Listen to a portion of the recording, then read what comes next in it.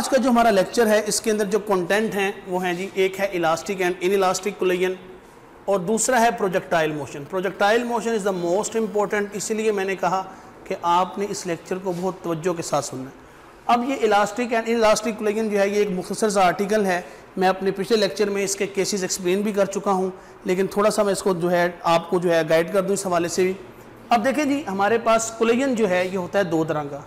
एक को बोलते हैं इलास्टिक कुलयन और दूसरे को बोलते हैं इन इलास्टिक कुलयन पहली इंपॉर्टेंट बात यह है कि जो इलास्टिक कुलयन है, ये आइडियल केस है। और जो हमारे पास इन इलास्टिक कुलयन है, ये प्रैक्टिकल केस अब इलास्टिक कुलयन कुलयन की एक ऐसी टाइप है कि जिसके अंदर मोमेंटम भी कंजर्व होता है काइनेटिक एनर्जी भी कंजर्व होती है और टोटल एनर्जी भी कंजर्व होती है। मेन इंपॉर्टेंट बात यह है कि एक ऐसी कुलयन के जिसके अंदर काइनेटिक एनर्जी कंजर्व हो, ये बुक में लिखा हुआ है कि ideal case when no kinetic energy is lost ठीक है? जबकि जो हमारे पास इन इलास्टिक कुलयन है, यहाँ पे सिर्फ़ मोमेंटम कंजर्व होता है और टोटल एनर्जी कंजर्व होती है। यहाँ पे काइनेटिक एनर्जी जो है, वो कंजर्व नहीं होती, ये याद रखिएगा। अब यही बात है कि बुक में फिर बड़े वाज अल्फाज में एक बात लिखी हुई है और ये चीज़ एम में भी आ सकती है। वो बात ये है कि हर कुलयन के अंदर, चाहे वो इलास्टिक हो या इन इलास्टिक हो, उसमें मोमेंटम और टोटल एनर्जी लाजमी कंजर्व होगी। लेकिन काइनेटिक एनर्जी सिर्फ़ कंजर्व होगी किसके अंदर? इलास्टिक कुलयन में। अब ये देखें जी, ये हमने क्या किया है? अब हमने रिलेटिव वेलोसिटीज़ मालूम करनी है।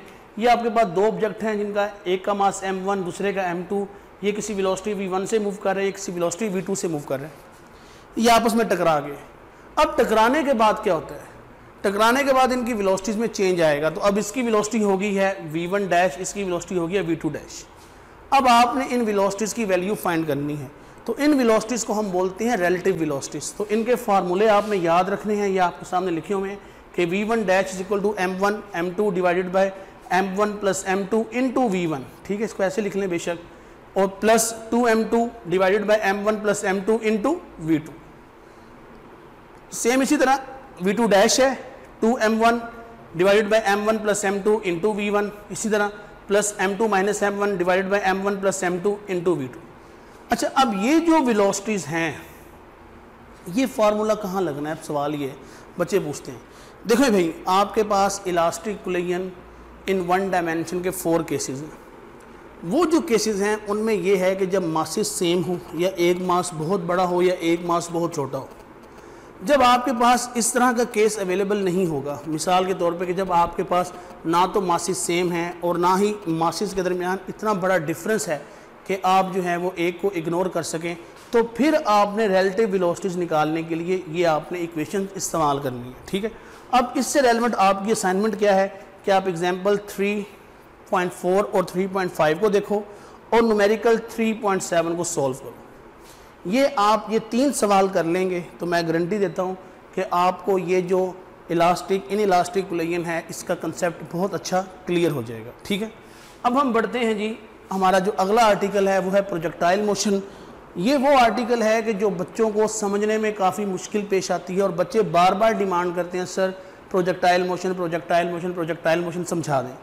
तो बहुत ही तवज्जो और गौर के साथ इस टॉपिक को समझना है, मैं फिर कह रहा हूँ, ठीक है? और मेरी बातों को आपने सुनना है। अगर आप ये लेक्चर तवज्जो के साथ सुनोगे तो एंड में मैंने आपको छः न्यूमेरिकल दिए हुए हैं सॉल्व करने के लिए।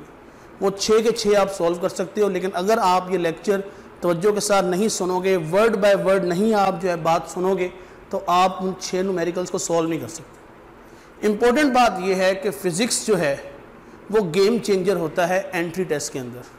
फ़िज़िक्स ने ही दाखिला करवाना है और फिज़िक्स ने ही खुदा ना खास्ता आपका स्कोर डैमेज करना इसीलिए आपने फ़िज़िक्स पे ख़ास तवज्जो देनी है और ख़ास तौर पे आपने मेरी बातों को लाजमी जो है अपने दिमाग में बिठाना है और जो मैं आपको टास्क दूँगा, आपने उन टास्क को लाजमी करना है। मैं फिर आपसे कह रहा हूँ, अगर आप काम नहीं करेंगे तो फिर मेरी तरफ़ से कोई गारंटी नहीं है कि आपको फ़िज़िक्स आएगी या नहीं आएगी। आपने सारे टास्क प्रॉपर करने हैं और जो भी मैं आपको टास्क दूँगा, आपने मुझे वो सेंड करना है थ्रू आप मुझे व्हाट्सएप पे सेंड कर दें थ्रू आप मुझे फेसबुक सेंड कर दें थ्रू आप मुझे ईमेल कर दें व्हाट्स कोई भी सोर्स है, आपने मेरे साथ इन कॉन्टेक्ट लाजमी रहना है ताकि मैं आपकी गलतियों को ठीक कर सकूँ। अगर आप मुझे काम करके नहीं दिखाएँगे तो मुझे कैसे पता चलेगा कि आपको फिज़िक्स समझ आ रही है या नहीं आ रही? ठीक है? मैं फिर आपसे कह रहा हूँ फिज़िक्स गेम चेंजर सब्जेक्ट है। अब देखें हम बात शुरू करते हैं प्रोजेक्टाइल मोशन की। तो प्रोजेक्टाइल मोशन पहली इंपॉर्टेंट चीज़ क्या है कि ये टू डायमेंशनल मोशन है। ठीक है जी? अगली बात अंडर कांस्टेंट एक्सेलरेशन है। और वो कांस्टेंट एक्सेलरेशन किसकी वजह से है? ग्रेविटी की वजह से। तो ये बुक की ही डेफिनेशन है इंपॉर्टेंट है, इसको आपने समझना है। अब सवाल ये है, क्या प्रोजेक्टाइल थ्री डायमेंशनल हो सकता है? हो सकता है कि अगर आप एक ऑब्जेक्ट को इधर से इधर मूव करवाओ और इधर और यहाँ से यहाँ जो है वो क्या हो? वो एयर चल पड़े। मिसाल के तौर पर इस मार्कर को मैं फेंकता हूँ इधर से इधर। और इस डायरेक्शन में जो है वो हवा जो है वो आ जाए तो ये क्या करेगी? ये इसकी मोशन को ऐसे टिल्ट कर देगी। तो हम कह सकते हैं कि ये थ्री डायमेंशनल हो सकता है, ये केस डिपेंडेंट है, ठीक है? अब जो प्रोजेक्टाइल मोशन है, हमने कहा टू डायमेंशनल है। अब इसमें एक्स एक्सिस और वाई एक्सिस इन्वॉल्व हैं, लेकिन ये दोनों जो हैं वो क्या हैं? ये इंडिपेंडेंट ऑफ़ ईच अदर हैं, ठीक है? लेकिन कैलकुलेशन में हम इनको इस्तेमाल करते हैं, ठीक है? अब ये देखें जनाब, अगली इंपॉर्टेंट बात क्या है? अगली इंपॉर्टेंट बात है जी ट्रेजेक्ट्री ऑफ़ प्रोजेक्टाइल तो ट्रेजेक्ट्री ऑफ़ प्रोजेक्टाइल क्या है? पैराबोला अब पैराबोला क्या होता है? ये सेमी सर्कल शेप ठीक है? अब प्रोजेक्टाइल मोशन में जो सबसे बड़ी कन्फ्यूज़न आती है बच्चों को, वो ये आती है कि यहाँ पर एंगल ऑफ़ इंक्लिनेशन और एंगल ऑफ़ इंक्लिनेशन जो है सम टाइम दिया होता है सम टाइम नहीं दिया होता तो बच्चे इसको मिक्सअप कर देते हैं। तो आपने इसको आसान समझना है, दो केसेस बना के। एक वो कि जब आपको एंगल ऑफ़ इंक्लिनेशन नहीं दिया होगा, और दूसरा वो जब आपको एंगल ऑफ़ इंक्लिनेशन दिया होगा। एंगल ऑफ़ इंक्लिनेशन का मतलब ये है कि प्रोजेक्टाइल किसी एंगल पे मूव करवाया है, ठीक है? अब ये देखें, सबसे पहले मैं इसको डील करूँगा कि जब आपको एंगल ना दिया हो। तो ये देखें, ये जी मेरे पास एक प्रोजेक्टाइल है, एक बॉडी है जिसको मैंने हॉरिजॉन्टली किसी इनिशियल वेलोसिटी के साथ फेंका है। अब मेरा आपसे सवाल ये ज़रा देखिएगा, ये एक मार्कर है, इसको मैं सीधा फेंकूँगा इस डायरेक्शन तो क्या ये मार्कर सीधी ही मूव करेगी सारी उम्र? तो आपका आंसर क्या होगा? नहीं. क्यों? आप कहेंगे जी ग्रेविटी इसको डाउनवर्ड मूव करवाएगी. बिल्कुल ऐसी है तो यहाँ से एक बात और समझ आएगी कि ग्रेविटी कभी भी चीज़ों को साइड वाइज मूव नहीं करवाती ग्रेविटी चीज़ों को डाउनवर्ड मूव करवाती है. तो ये ऑब्जेक्ट डाउनवर्ड मूव करेगा और आप देख सकते हैं कि इसके पास दो कंपोनेंट हैं वेलोसिटी के. हॉरिजॉन्टल एंड वर्टिकल क्यों? क्योंकि यहाँ पे टू एक्सिस इन्वॉल्व हो गए Y axis and X axis ठीक है? अब ये बॉडी एक कर्व्ड पाथ लेके इस तरह से जो है ये ग्राउंड के साथ स्ट्राइक करेगी। अब हमने कहा जी कि हमें तो चाहिए कि इसने कितना वर्टिकल और कितना हॉरिजॉन्टल डिस्टेंस ट्रैवल किया है। तो हॉरिजॉन्टल डिस्टेंस के लिए simple V X multiply by T velocity into time आप कर दें। यहाँ पर एक्स कंपोनेंट इसलिए लिया क्योंकि आप डिस्टेंस हॉरिजॉन्टल ले रहे हो। अब ये जो फार्मूला है, ये इंपॉर्टेंट है Y is equal to one by two G T square अब ये कहाँ से आता है? ये दर हकीकत आता है जी सेकेंड इक्वेशन से। अब सेकेंड इक्वेशन ऑफ़ मोशन में आपने इनिशियल वेलोसिटी जब ज़ीरो ली, तब आपके पास जो है ये फार्मूला बन गया। ठीक है?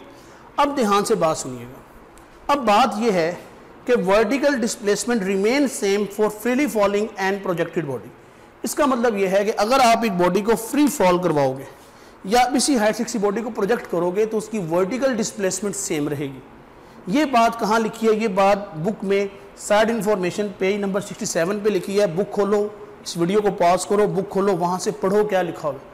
वहाँ पे लिखा हुआ है कि आपने एक ऐसा मैकेनिज्म से आपने दो बॉल्स को ड्रॉप किया है, जो एक तो फ्री फॉल हो रही है, जबकि दूसरी प्रोजेक्ट हो रही है। तो दोनों की वर्टिकल डिस्प्लेसमेंट सेम रहेगी। उसके नीचे लिख लो कि दोनों की हॉरिजॉन्टल जो है आपके पास डिस्प्लेसमेंट वो सेम नहीं रहेगी। ठीक है? तो ये हमारे पास हॉरिजॉन्टल एंड वर्टिकल आ गया। तो ये फार्मूले आपको आने चाहिए। अब इसके बाद हम चलते हैं कि जब आपके पास एंगल ऑफ़ इंक्लिनेशन होगा, ये देखें, अब यहाँ पर एंगल बन रहा है और ये किसी इनिशियल वेलोसिटी से आपने प्रोजेक्टाइल को क्या किया है? मूव करवाया तीन पॉइंट बड़े हैं मैं। कौन कौन सा? P point Q point and R point यहाँ भी आप देख सकते हो कि हमारे पास वेलोसिटी के क्या हैं? डिफरेंट कंपोनेंट्स बने हुए हैं। ये आपके पास हॉरिजॉन्टल कंपोनेंट या आपके पास vertical component horizontal component vertical component ठीक है? अब पहली इंपॉर्टेंट बात यह है कि throughout projectile motion horizontal component of velocity remains constant अब इसकी वजह क्या है? इसकी वजह यह है कि हॉरिजॉन्टली बॉडी के ऊपर कोई फोर्स लगती ही नहीं। यही वजह है कि हॉरिजॉन्टल कोई एक्सेलरेशन नहीं आएगी और बॉडी की जो इनिशियल हॉरिजॉन्टल वेलोसिटी है वही उसकी फाइनल हॉरिजॉन्टल वेलोसिटी इक्वल होगी और इसका फार्मूला होता है वी आई कॉस थीटा जो कि थ्रू आउट कॉन्स्टेंट ठीक है? अब ये बात मैंने मेंशन भी की है कि हॉरिजॉन्टल वेलोसिटी रिमेन्स कांस्टेंट उसकी वजह बता दी है कि बॉडी के ऊपर हॉरिजॉन्टली कोई फोर्स एक्ट नहीं करती, जबकि वर्टिकली उसके ऊपर ग्रेविटी एक्ट करती है, यही वजह है कि उसका vertical component of velocity same नहीं रहता, वो चेंज होता है, ठीक है? अब ये आ गया जी वर्टिकल कंपोनेंट ऑफ़ वेलोसिटी आप देख सकते हैं V F Y equal to V I sine theta minus G T अब ये जो मैंने नेक्स्ट जो है इक्वेशन लिखी है, ये इक्वेशन इंपॉर्टेंट है और ये आपकी एक्सरसाइज का शॉर्ट क्वेश्चन भी है। ये इक्वेशन क्या शो कर रही है कि velocity at projection and velocity of landing तो प्रोजेक्शन पॉइंट पर और लैंडिंग पॉइंट पर वेलोसिटी का मैग्नीट्यूड होता है मैक्सिमम ठीक है? और उसका फार्मूला ये आप देख सकते हैं। अब नेक्स्ट जो हमारे पास है, वो है वेलोसिटी एट मैक्सिमम हाइट तो मैक्सिमम हाइट पे जब बॉडी पहुँचती है तो उसका vertical component of velocity zero हो जाता है। ये एमसीक्यू है, याद रखिएगा। अब यहाँ पर मिसकंसेप्शन है। मिसकंसेप्शन ये है कि बच्चा कहता है जी कि वर्टिकल हाइट पर जाकर ऑल टुगेदर वेलोसिटी ज़ीरो हो जाती है तो ये बात गलत है। वहाँ पर सिर्फ़ एक कंपोनेंट ज़ीरो होता है, वो है वी एफ़ वाई तो यही वजह है कि यहाँ पर मैग्नीट्यूड ऑफ़ वेलोसिटी मिनिमम होगा, ये ज़ीरो नहीं होगा। तो फिर ज़ीरो कब होता है? ज़ीरो तब होता है कि जब आप एक बॉडी को बिल्कुल सीधा नीचे से ऊपर फेंकें तो यहाँ जाकर वेलोसिटी ऑल टुगेदर ज़ीरो होती है। इस केस में आल टुगेदर ज़ीरो नहीं होगी। क्यों नहीं होगी? क्योंकि यहाँ पर हॉरिजॉन्टल वेलोसिटी तो है ना। यही चीज़ चैप्टर नंबर टू के शॉर्ट क्वेश्चन में पड़ी थी कि अगर एक कंपोनेंट ज़ीरो हो जाए तो क्या रिजल्टेंट ज़ीरो होता है? तो हम कहते थे, नहीं, ऐसा नहीं होता। तो यहाँ भी यही है कि एक कंपोनेंट ज़ीरो हुआ है, दूसरा मौजूद है। यही वजह है कि वेलोसिटी मिनिमम होगी, सारी की सारी ज़ीरो नहीं होगी। तो ये आपके सामने है। अगर आपको सवाल आ जाए कि जी मैक्सिमम आप जो है, आप मैक्सिमम हाइट पर वेलोसिटी की वैल्यू निकालें तो आपने इस फार्मूले से निकालनी है। साथ आपको एंगल दिया होगा और वेलोसिटी भी दी होगी तो आप इससे सॉल्व कर सकते हैं। अच्छा जी, अब हम बढ़ते हैं आगे। आपके पास क्या है जी? आपके पास एक्स कंपोनेंट आ गया, वेलोसिटी का वाई आ गया, मैग्नीट्यूड वगैरह आ गया, ठीक है? अब ये है जी हमारे पास डायरेक्शन डायरेक्शन के लिए आप पता है tan inverse Y component over X component ठीक है? अगली इंपॉर्टेंट चीज़, ये जो मैंने लिखे हुए हैं, ये बहुत इंपॉर्टेंट फार्मूले हैं, इनको समझना है। पहला इंपॉर्टेंट फार्मूला क्या है? पहला इंपॉर्टेंट फार्मूला है यहाँ पे resultant velocity at any instant of time मिसाल के तौर पे सवाल आता है जी कि एक प्रोजेक्टाइल है, जिसको हमने प्रोजेक्ट किया, उसकी इनिशियल वेलोसिटी है टेन मीटर पर सेकेंड तो आप ये बताएँ कि पाँच सेकेंड बाद उसकी वेलोसिटी क्या होगी? तो उसके लिए आपने फार्मूला ये यूज़ करना है। अब देखें, यहाँ पर एंगल इन्वॉल्व नहीं है इस सवाल के अंदर। इंपॉर्टेंट बात यह है कि यहाँ पर एंगल ऑफ़ इंक्लिनेशन इन्वॉल्व नहीं है। तो जब एंगल इन्वॉल्व नहीं होगा तो हम ये वाला फार्मूला यूज़ करेंगे। Similarly velocity of projectile on striking the ground अब ये आपके सामने आप देख सकते हैं कि ये एक प्रोजेक्टाइल है। मैं आपसे कहता हूँ कि ये ज़मीन से किस वेलोसिटी से टकराएगा? तो इसका शॉर्टकट फार्मूला ये है V square plus two G H whole under root और ये फार्मूला आप यूज़ कर सकते हैं 3.11 नोमेरिकल के अंदर। ये मैं आपको भी बता रहा हूँ, ठीक है? आप वहाँ पे इसको सॉल्व कीजिएगा, आपका आंसर 100 परसेंट ठीक आएगा। अच्छा उसके बाद ये थर्ड हमारे पास क्या है? Velocity of projectile at maximum height तो मैक्सिमम हाइट मैं ऑलरेडी बता चुका हूँ V two V I cos theta आपको सवाल आएगा जी कि बिल फर जी initial velocity 10 metre per second है, और आपके पास जो थीटा है बिल फर वो 60 डिग्री है। तो आप बताएँ जी कि मैक्सिमम हाइट पे वेलोसिटी क्या होगी?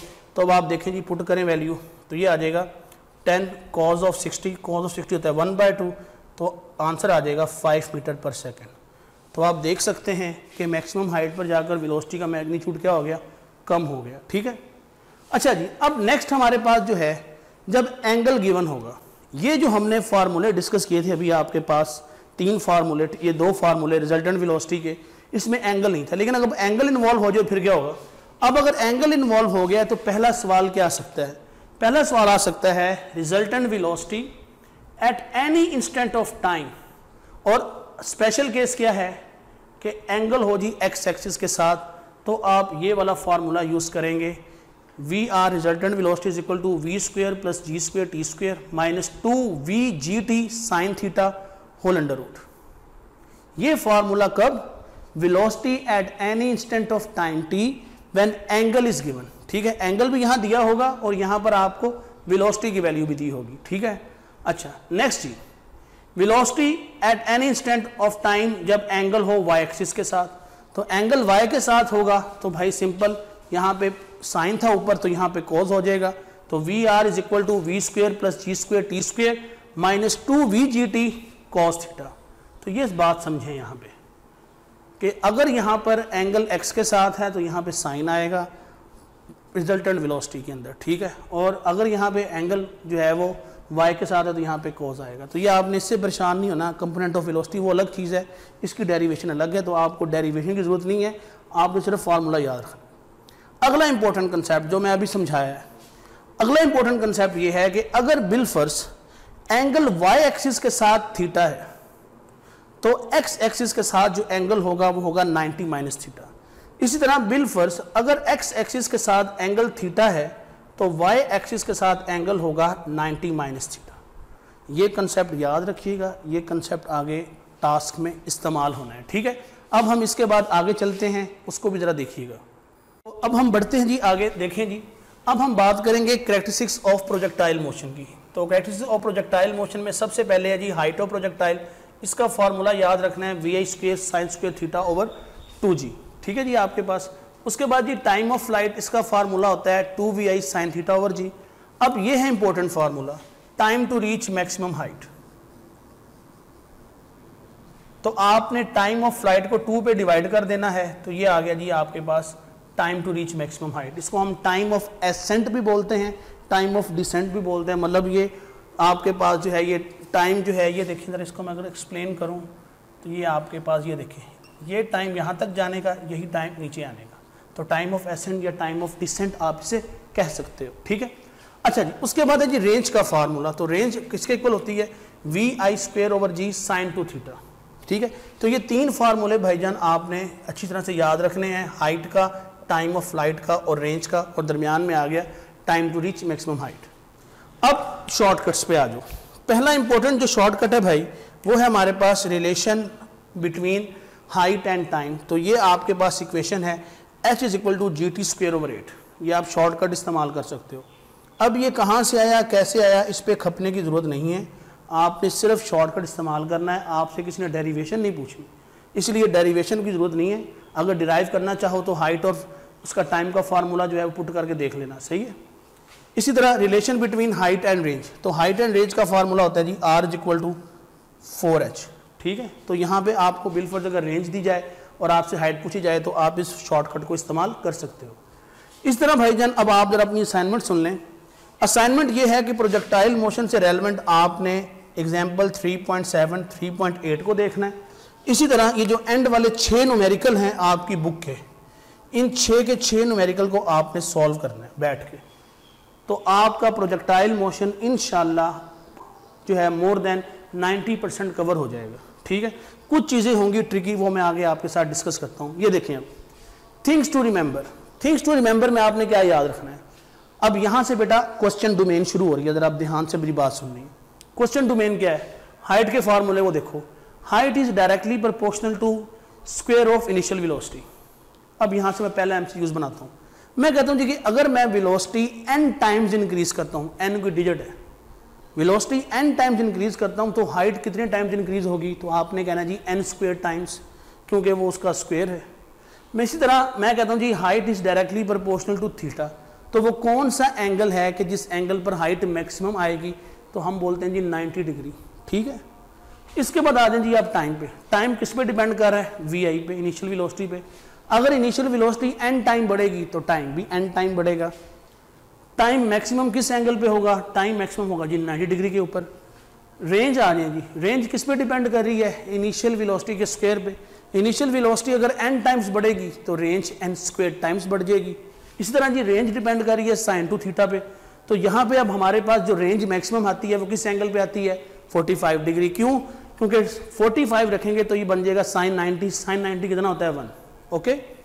इसके बाद जी, ये आपका एक्सरसाइज का जो है वो न्यूमेरिकल भी है और ये आपको पता है कि अगर एंगल होगा 76 डिग्री तो हाइट ऑफ़ प्रोजेक्टाइल और रेंज ऑफ़ प्रोजेक्टाइल दोनों क्या होते हैं? इक्वल होते हैं। ठीक है? ये जब आप न्यूमेरिकल करोगे तो आप इस चीज़ को प्रूव भी करोगे।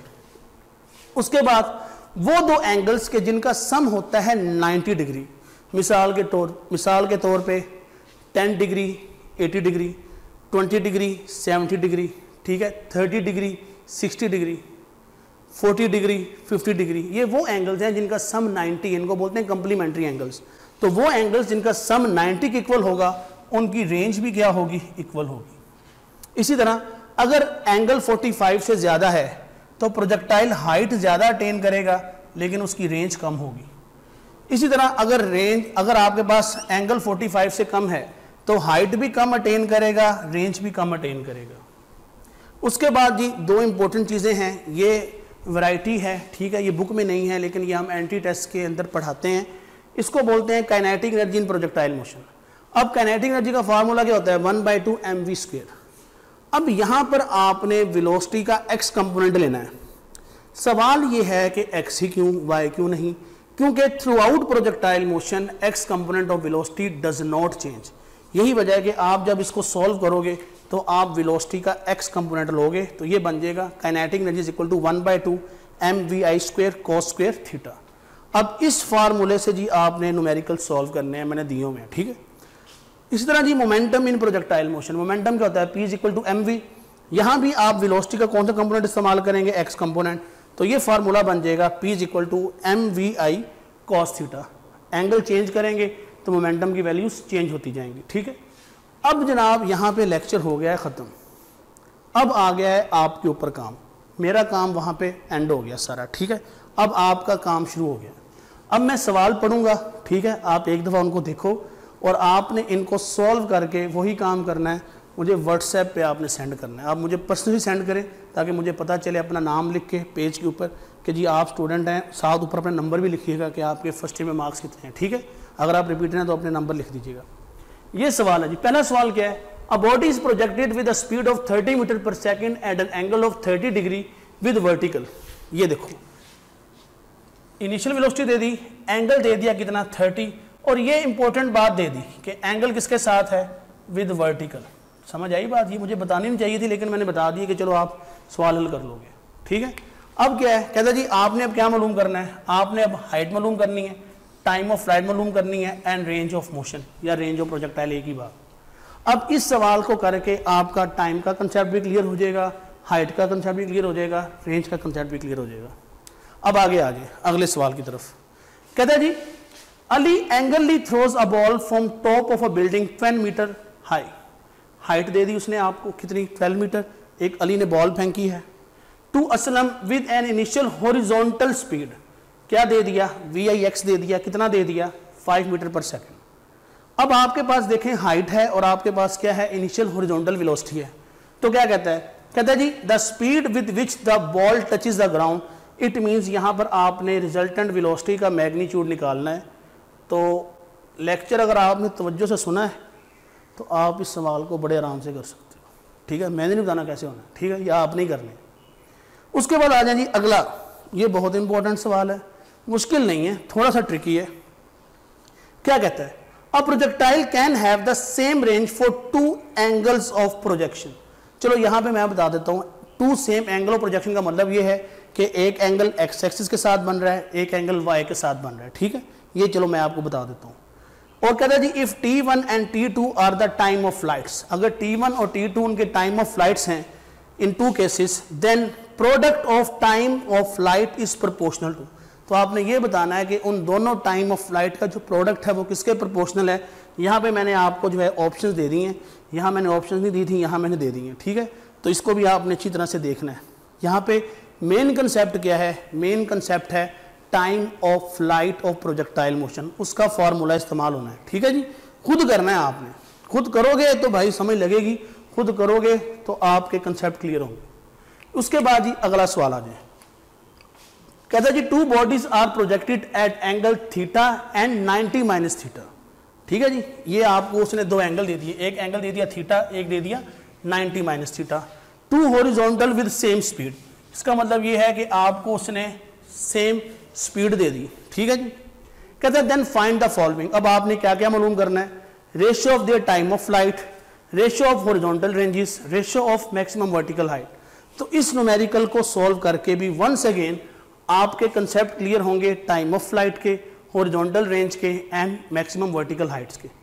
उसके बाद आ जाए जी आपके पास लास्ट न्यूमेरिकल लास्ट न्यूमेरिकल में ऑलरेडी आपको बता कर गया हूँ कि आपने ये काइनेटिक एनर्जी एंड मोमेंटम वाले टॉपिक से करना है सॉल्व ठीक है, ये मैंने हिंट दे दिया आपको।